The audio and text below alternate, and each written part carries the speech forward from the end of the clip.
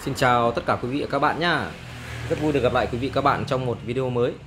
Hôm nay à, em Tuấn xin được à, giới thiệu một chiếc đài, Một chiếc đài, một cục Rất là đẹp luôn nhá.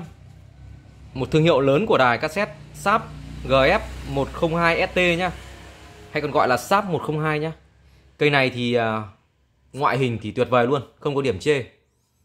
Anten quay sách đầy đủ zin theo đài hết nhá các núm nút đều zin hết không bị lai tạp một xíu nào cả. Các chức năng hoạt động cực tốt luôn.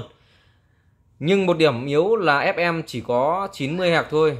AM thì bắt rất là tốt nhá. Đấy. bác nào mà thích chiếc đài à, một cục à, hàng à, khá là cổ kính nhá thì liên hệ ngay với em nhá. Số điện thoại của em Tuấn là 0822 301 314 nhá. Bác nào có thể là liên hệ theo Zalo, số điện thoại, gọi điện trực tiếp hoặc là để lại lời bình luận ở trên video cũng được nhé à, chiếc này chạy à, tốt cả phần băng dây và phần à, radio AM nhá. Đấy FM thì coi như là không tính bỏ. Hoạt động rất là tốt thân vỏ cực kỳ là lành đài này sách rất là nặng tay nhá rất là chắc tay. Tất tiếng Nhật. Rất là lành lặn và đẹp. Một uh, form cổ điển. Cho bác nào để đầu giường đầu tủ trưng bày cây này thì rất là cổ kính và đẹp nhá đây ở đây có cái à, ba cái nút chức năng ở trên này.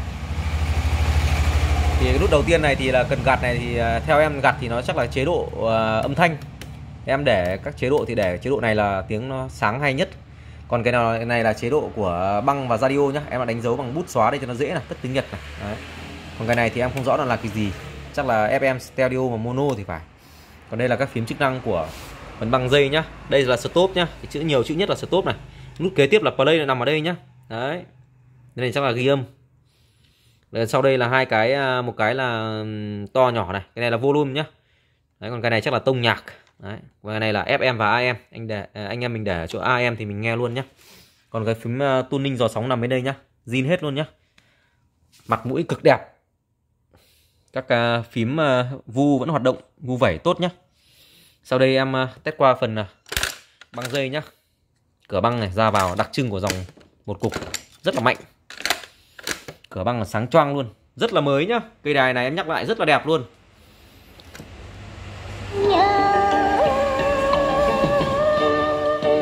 Nàng là trinh nữ tóc buông kín đôi vai gầy. Đấy, có ba cái chế độ này. Thích nghe ở chế độ nào thì mình gạt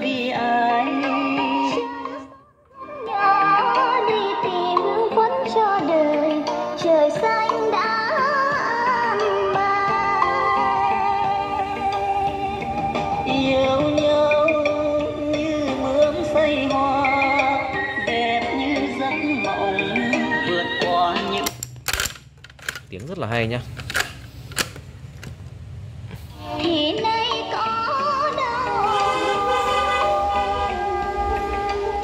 Hoạt động rất là tốt. Sau đến test qua phần à, radio Chị nhé Hạnh, đó là điều đáng đánh đổi vì sức khỏe của con. tiếng rất là trong nhá. Đó là mới đi bác học nào mà fan của radio thì được nên cây mà này. lớp có 56 học sinh mà đã đến 2 phần 3 À, vâng, tôi xin ờ, bổ sung thêm tất cả những cái ý kiến của giáo sư Kính đã nêu là rất đầy đủ rồi nha. Tuy nhiên thì có một vấn đề mà cũng cực kỳ quan trọng đó chính là cái tâm lý. Cái tâm lý mỗi cái người bệnh khi mà mắc cần phải đảm bảo được cái tâm lý rất là chắc chắn rằng là uh, mình đang mắc đây và chúng ta đang có những cái người hỗ trợ xung quanh đây. Chúng ta nghe đây chính là một cái bệnh lý mà cũng là một cái sốt virus thôi. Chúng ta cá thể Nội lại ủng hộ việc tổ chức ăn bán chú khi học sinh đến trường. Chị Hương cho biết sau thời gian con đến trường học trực tiếp, thực tế một số ca nhiễm COVID-19 trong lớp học, nhưng hầu hết các cháu đều không có triệu chứng hoặc triệu chứng nhẹ.